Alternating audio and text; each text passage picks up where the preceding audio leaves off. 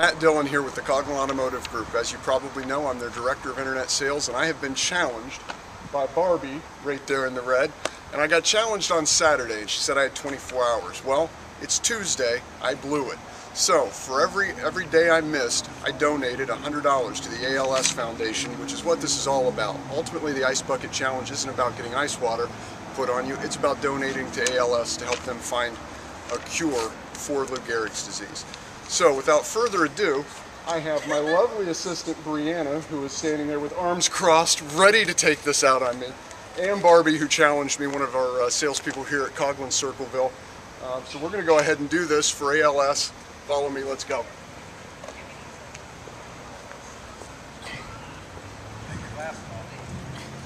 Oh, that was that's not the good part.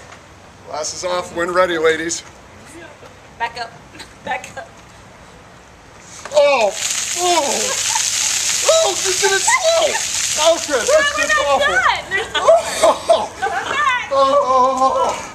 oh, oh, you're just being me. Wait, I'm not done. Oh. Okay. Oh gosh, that's cold. Oh, you are mean.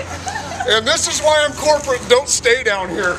Oh, thanks everyone.